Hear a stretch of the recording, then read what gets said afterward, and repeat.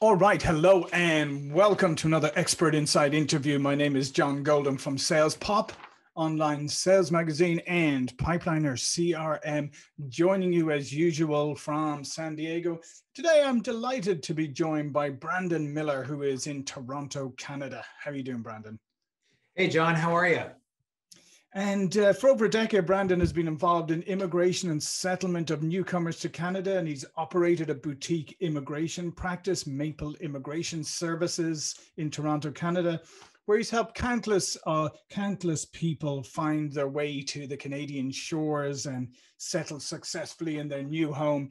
And what we're going to talk about today is securing a safe and secure alternative home in Canada for you and your family and getting a second passport and why why actually living abroad or living in a different country how that can actually benefit you from a business point of view. And as a as a just a point of reference i'll say uh, i'm an immigrant. You know i came to the us uh, from from ireland during the dot-com time and i can certainly attest to the benefit of of living and working and experiencing a, a completely different country and culture. Um, so, so Brandon, let's just let's just get right down to it. Why awesome. Canada? Why Canada? Well, uh, so many different, so many different reasons. Um, so, you know, look, it's it's really a personal decision, and some of the main things that we hear is is that people are looking, um, you know, uh, to expand different business options for them, maybe get a different passport so they can open up other ways that they can travel. Uh, some people want to move here because they're looking very long term and they want to think about what what is life going to look like in you know 10 20 30 years the biggest thing uh, you know for my american audience uh, a lot of things that i hear all the time is the healthcare uh, obviously we have uh, we have free healthcare um, and and that's a that's a huge benefit and i know a very interesting issue for a number of people. Um, and and honestly, just the uh, you know just the lack of culture shock, if you will, living here. If you know if you're moving in from uh, the U.S. or other Western nations, it's it's pretty much the same. So uh, it's close. Um, you know you can you can move up pretty pretty easily and still find all the comforts of home. Yeah, so so for a lot of people, uh, the idea of moving to another country, even if it is moving from the states up to Canada, uh, seems like an, a very daunting thing for them, and it seems like, oh my goodness, like there must there's so many different, uh, you know, rules and regulations and qualifications and all of that you got to go through, and then you know where am I going to locate myself and how will my family? Yeah. So how do you help people work through these issues because they tend not to be as daunting as people think yeah they they tend not to be as long as uh, people get the proper information. So yeah. one of the things that i've put together in in the system that i uh, that i created called the immigration success system uh, over a 10 year period was based on what i was seeing were the biggest traps. And it's you know look it's it's pretty straightforward. It's first stage planning second stage implementation or execution but the third stage is the settlement and i think that's actually one of the biggest uh, you know things that people overlook. They actually a lot of people will focus on just getting here and they don't think about what it's going to look like once they once they come.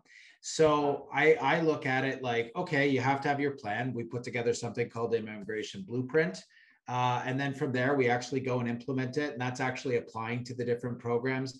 And the idea with the implementation is, is, is, you know, dealing with any type of government bureaucracy, you want to get in and out as quickly as possible, efficiently, cost effective, and just like as, as little, as few touch points as possible. But then after that, there's the settlement. And what we do there is, is we look at like, you know, hey, there's the pre-settlement. Uh, and I always use the example of somebody who's in a regulated profession. You know, there's a lot of things that you can do before you even set foot in Canada here. Uh, nurses, for instance, nurses can literally get all of their stuff sorted out with the regulatory body up to the point where they're going to get their PR and then they can be confirmed for their for their licensure here. So it allows you to hit the ground running on top of that, um, you know, you got to have a plan when you hit the ground here to know exactly what you're going to do uh, once you once you step foot here. So that's it's all it's all planning and execution, right? Nothing different than anything else. So yeah. I go ahead. No, I was going to say. So, so why do you think it? Is, why do you think it is a benefit or important for people to to consider spending time abroad, and why do you think it helps them, you know, with their business and life in general?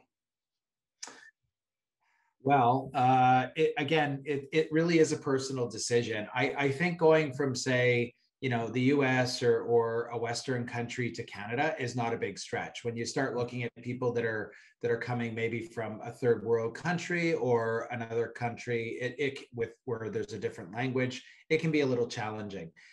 I look at it as uh, benefit wise, um, just being able to, um, you know, opportunity. It just it it allows you to see different things here. It allows you to live a, maybe a little bit more comfortably, and it allows for different opportunities in the future, not only for yourself, kids, generations to come.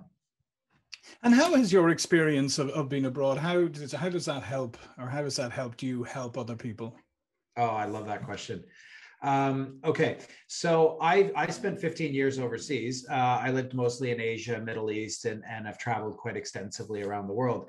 Um, but uh, it, it, allows me to really identify with my clients. Um, I also know what it's like to move to a new country and get settled in, et cetera, et cetera. But I also understand why uh, when I came back to Canada, one of the reasons, well, the reason that I came back was is I just had uh, my first daughter. She was born mm-hmm. overseas. Mm-hmm and uh, you know i wanted to raise her here so i actually repatriated myself to canada based on the, a lot of the reasons that a lot of my clients will come here um, and that's basically to find a safe secure home for my family and raise them within the canadian context so uh, that was important to me yeah no it, it, it's it's it's very interesting i think because uh, you can bring a bring a perspective. How when you talk to people who are who are looking to make the move i think one of the things and, and i've seen this with other people is uh, as you said about the planning but also about your time frame i think are you are you moving for a few years? Are you thinking of settling down for good? Are you not sure in between? Because i think those kind of those kind of decisions can impact yeah, the mindset or the approach to a move yeah, definitely. And that's actually a really good point that you brought up because um, you know, you uh, you you moved into the US, so you've been through mm-hmm. the whole green card process and you know, there's a lot of different I this and I that form, right? Uh, it, you know, it's it's funny. Um, the the the process in the US is a lot more onerous than it is in Canada. So the green card is equal to what we call a PR card or a permanent residency. But in the US, you generally have to stay. Uh, and if you're going to be outside, uh, you generally, to keep your green card pretty much safe, you need that in status to be, mm-hmm. you know, within six months, right? You need to kind of yeah. do that, or you got to get these travel passport log things. Um, in Canada, you can literally come, you can land, and then you can disappear for three years if you want, because you only have to be here for two out of five years. So it's a really good option for people if they're like, okay, I want to get that and I want to secure it. They can come in and out. Uh, it's not as onerous in that respect, and it allows for the flexibility. And then if they want to go and get their uh, passport, which is the second passport, uh, you know, that only takes three years as opposed to five in the US. So it's pretty quick. Um, and then once you have a passport, you know that's it you can claim non-residency you can do whatever there's a lot of different tax strategies that you can employ with uh, you know setting up different branch locations uh, for businesses things like that uh, no, that, that, that's um that, that's great information. Yeah, I mean, I, I went through the green card process here and the uh, and the citizenship process, and actually the green card process is more onerous than the citizenship one, to be honest. Yes. Yeah. Um, yeah, uh, so I always encourage people use use an expert if you can. That's what I did, and I think, and if you're going to go to Canada, check out check out Brandon. Uh, um, but I think the other part is, I think if you're going to move somewhere, I do think that you have to make some commitment in your head because mm-hmm. otherwise, mm-hmm. I don't think you will really give yourself the proper experience and and the first you know hurdles or whatever obstacles you come up with you'll probably you know you'll be tempted just to pack up and and go home um, i always i always say to people uh, if you're two years you're first year you're on vacation, right? It just seems right. like a vacation. Honeymoon. Second, yeah, second year you're away from home. Third year you're starting to transition. It's starting to become more like it's your home and not the other yeah. place. And I think by by year four you've moved. You know, you exactly, you live somewhere, yeah. yeah. somewhere else. And I think uh, and and I think that's it's important that people realize that there are certain almost kind of psychological stages to this and if you don't give yourself enough time or commitment you know you're quite likely to prematurely cut something short yeah that's actually a really good way of putting it. I i uh, i like that because really it is the first the first year is like there's so much happening it's new you're setting up a new place you're getting some new furniture like everything's like ooh and then it's like wow i'm into life. So yeah no that's uh that's a really good um that's a really good way of putting it. I think what the one thing that i would add to that too is that the people that i see that are actually do well and are who are successful it goes back to the planning but it also goes back to educating themselves and i think that um a lot of people you know the clients that scare me the most are the people mm-hmm. that will come to me. They're like, "Hey, I want to go to Canada." I'm like, "Okay, do you have any questions?" No, no, let's just do this thing. I'm like, "Really? Okay, pretty big life decision there, but if that's what you want to do, that's they scare me a little bit uh, in terms of you know how they want to how they mm-hmm. how they're how they're going." So what is what's happening um, immigration wise in Canada? What are the trends right now? Oh man, what a great question. Okay, so uh, that's man. Here we go. So uh, right now is a very good opportunity for people if they want to come here, and the reason is is because right now Canada has the lowest birth rate since 1918. Uh, any economy, uh, any modern economy, is based on growth. Uh, mm-hmm. not only just of the stock market, but also of the people to fuel that growth. Uh, we have a declining birth rate. Uh, we have uh, COVID has been very interesting because we have the we prior to COVID we had these very aggressive immigration numbers. We're trying to bring a lot more people in. Now there's a big like hole in the pipeline for that uh, where where they need to fill that. So we've actually have immigration levels that you know are generational. We haven't seen them in so long anybody who's young, anybody who is from like university educated, speaks English or French, has a year of skilled work experience, and is below the age of 30, what an awesome time right now because we're bringing in younger people. And if you want to talk about uh, why we're doing that, we have all of these really great things like, you know, retirement benefits, uh, medical, we have the medical benefits, we have prescriptions, we have the Canadian Pension Fund, all of these things.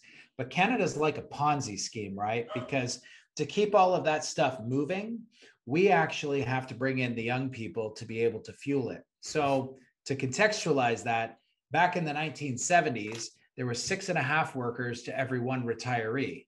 Currently, we're looking at four to one. And if we don't make any changes, it's two to one. So immigration right now and, and two to one in 2035. So they're really mm-hmm. trying to front end and get a lot of people in here. So you know it's it's pretty much a no-brainer uh, if if people really want to come you just have to know what steps are and be able to to get through them yeah, no, that's a that, that's amazing, and and obviously, uh, yeah, such great opportunity, particularly with the demographics and and all of that, and then um, and then so uh, when somebody just says called you up, Brandon, and says, okay, uh, I want to come to Canada, and hopefully not like that last person you referenced to has no right. idea why they want to come, but you've actually done a little research and put a little thought into it. Uh, what do you specifically do for them? So I have my uh, done for you uh, process, which is which is Maple Immigration Services. Uh, so generally, what we would do is we would do a consultation and design everything and, and do it for the person. Uh, for somebody who wants and and this is for the for the second person that I was telling you about, the person that wants to look into and educate themselves and and really take control of the process. Through my second passport, uh, mysecondpassport.ca we uh, we have courses where people we take we've taken we've taken our internal processes we've unpacked them through in a very systematic way so people can go through and they can get the help that they need when they need it the benefit is there's two benefits and the reason that we did that anytime you hire a professional, and I, you know, my weakness is numbers. Uh, but you know, I run a business. I, I have an accountant, and there's that vulnerability that I have with with going to my accountant, and he's like, "Yeah, sign these tax forms." I'm like, Michael, you know, are we good here? Like, you know, but I trust him. So um, there's that thing where I have to kind of put that in somebody's hands, and it's the same thing with immigration. I, I, on the other hand, want to take people and I want to educate them through, you know, second passport, take them through the steps, understand why we're making the decisions that we're making, et cetera, et cetera. And that's why that was actually born. So we've what I've what I've done is I've put it into a system and then I've unpacked it so that people can go through logically, not only immigrate, but to settle. So that's done through my second passport.ca. Yeah, and I, and I like the I like the part you said about the settle because obviously a lot of people can help you or can say they can help you with the first bit.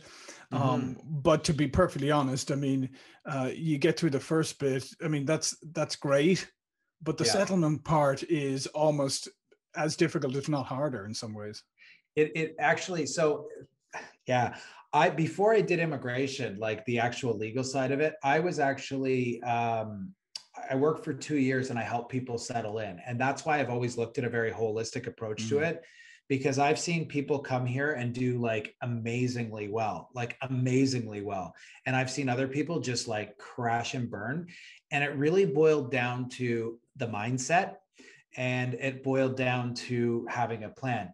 The mindset, if you're coming here and you're coming so far away and you're uprooting yourself and you're doing all of these things, you know, why not dive in like headlong into the place and get the most out of it but you also need to educate yourself to know where those resources are mm-hmm. there's a number of like really good government settlement resources that are out there but there's a lot of them that aren't so good and you know i always told people that you know a lot of the government funded options you have to look at where the priorities lie and i got to be careful with what i'm saying but mm-hmm. uh, you know they're basically being funded by the government and their money that comes in the form of a grant is based on how many people they service and how long you're sitting in a chair.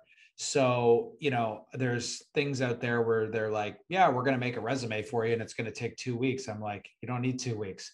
Get online. Go hire somebody on fiverr. Just get it done. You can mm-hmm. do it in a weekend right? Get out and start working. Don't sit on the chair.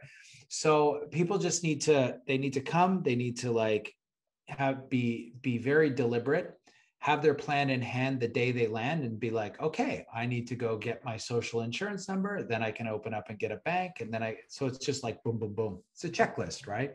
So yeah yeah and and it's so it's so it's so incredibly important because uh when you do move somewhere as you said i mean there's a lot of new things but there's be a lot of things that you're not expecting and there's little things that'll crop up so really taking care of all the basics and and having a plan and having a checklist is really important um, yeah. I think when I came here, I don't. I certainly didn't have a checklist. Um, I took it, you know, got advice from people, whoever muddled through it, and it all, it all worked out fine. But, but I would not recommend that approach.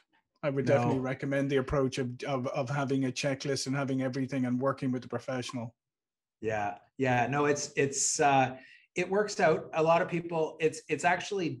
I'm I'm happy to hear what you're saying because a lot of people they'll come and they'll get through it, and and you know people will get through it, but a lot of times what we see is is that people will be like, well, I did it, I can, you know, you can do blah blah blah, and it's like yeah it, but everybody's personal indifference so it works mm-hmm. out for a lot of people but when it doesn't work out it really doesn't work out. So it's it's actually pretty it can be pretty sad. So again, it's nothing different than anything in life. You got to have a plan and you got to be realistic to know that you can actually execute on that plan.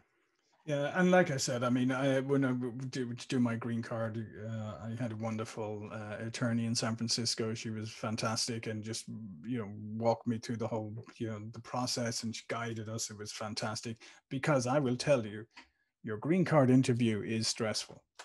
Yeah. Just for anybody yeah. who's coming, it's stressful. So having somebody by your side uh, advising you is not a bad idea um, at all. So just um, in in in closing, Brandon, um, mm-hmm. give us your give us your last thoughts about why people should consider Canada. Well, it's funny. When I wrote the book, I said have uh, have a safe, secure alternative home mm-hmm. just in case. Um, I think that, uh, it, and and honestly, this was before you know any of the craziness in the world. And I look at it now, I'm like, oh my gosh, like did I like? So one of the things that I like to tell people is is that I deal with people all over the world, and you look at uh, you look at a lot of non-Western type countries where people are looking at the second passport as a tool. Mm-hmm. And they look at it as a way of like, well, you know, life is okay here. I lead a good lifestyle in the country that I'm in. But, you know, the government might just come in and take my money or might do this. So they look at it as a way to have that kind of like in my back pocket. I can get up and move. They have a nice, secure place to keep some money overseas, et cetera, et cetera. I think that um, from a Western country standpoint, we don't really do that as much. But um, lately, what I've been seeing is there's been a lot more interest in that. I've never, uh, you know, I've never been like all doom and gloom and you got to do this and that um, because like skies falling in Canada's like, you know, unicorns and rainbows here because it's not. It's got its challenges, but it's a pretty good place to live. Um, and I think that people are starting to think about hmm, maybe I need some options. What are things going to look like in 10 or 20 years?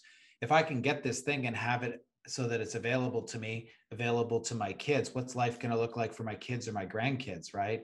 So these are some things that I, you know, we're starting to see, you know, and I like I'll tell you, I I hear some pretty impressive opinions of some forward thinking people and one of the ones that always resonates with me is I had a woman many many years ago, and I hear this a lot now actually, but many years ago she said to me, "I want I was I want to move to Canada as opposed to Australia." I was like, "Oh, why is hmm. that?" And she's like, "You know, Canada's got a lot of water, and I think in 50 or 70 years, water is going to be really important." I was like, okay wow, that's uh, that's pretty interesting. And then you start looking at different places around the world. The environmental argument actually is entering into it more. I'm hearing, you know, from people California, Arizona, 10 years, you know, water's water might be a little bit challenging. Now, again, I'm not gonna I'm not gonna pin my thing on that, but I'm gonna go back to options. You have options, and that's that's kind of what uh, that's that's what I think it basically boils down to is options. Yeah, and and I and I would I would underline that and, and personally underline that. Uh, you know, obviously I I'm lucky to have two passports. Um, you know, obviously US one and Ireland. You know, Ireland allows you dual passports. Ireland yeah. could care less. Ireland is right. one of those countries that could care less. They're like, uh, knock yourself out if right. you can get a passport somewhere else. True, eh? Yeah. Um, yeah. But it, but it certainly, uh, and you know, it's obviously having an Irish passport, and and my wife is American, and my son also qualify for those passports, which opens up the European Europe. Union to them, right? Yeah, Europe to them. So to your point, I think second passports options are always a good thing because you just never know about the future. And the other thing, maybe your children you know want to travel uh, and and make it easier maybe maybe your kids want to go work in canada for a year or two or whatever but it, it, anything that makes that process easier for them and they don't have to go through uh, through some of the rigorous things about getting you know temporary work visas and all that i think yep. is a good thing I'll give you an example right now, uh, based on uh, your son with an Irish and a mm-hmm. U.S. passport. So, as one of the options, uh, Canada has a program called IEC, which is International Experience Class, and it allows for people to have working holiday visas. Canada and Ireland are very close, uh, and Ireland has some of the biggest quotas available for Irish workers to come here. Yeah. If if your son's got an Irish passport, he can literally go apply and he can get a two-year work visa and do whatever he wants here. Right? As a, that program is not open to Americans. So it's very interesting where when you have those options, right, where people can actually go and do these different things.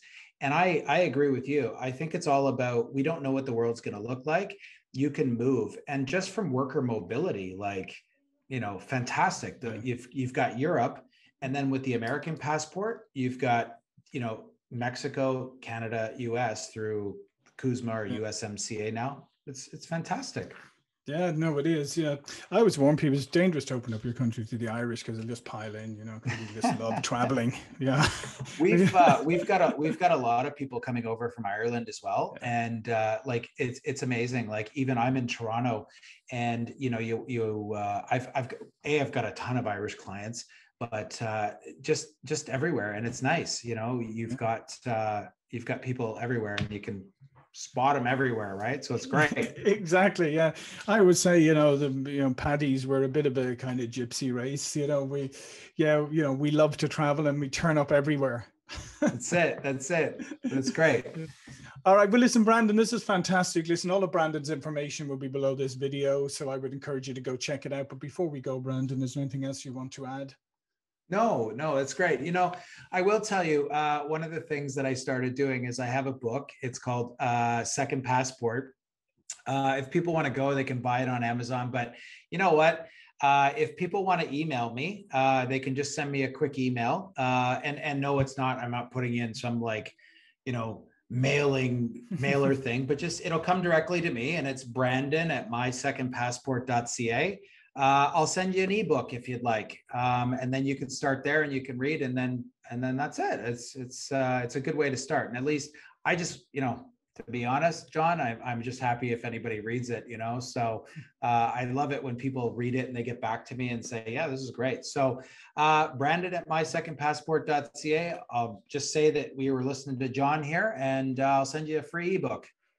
Yeah, listen, that's fantastic, Brandon. And uh, as I said, I would uh, encourage people to check it out. As Brandon said, it's not as uh, onerous a process as you think it is. And options, options are always options. a good thing. Yeah. Yes. All right. My name is John Golden. Thanks, Brandon. And I will see all of you for another interview really soon. Thank you.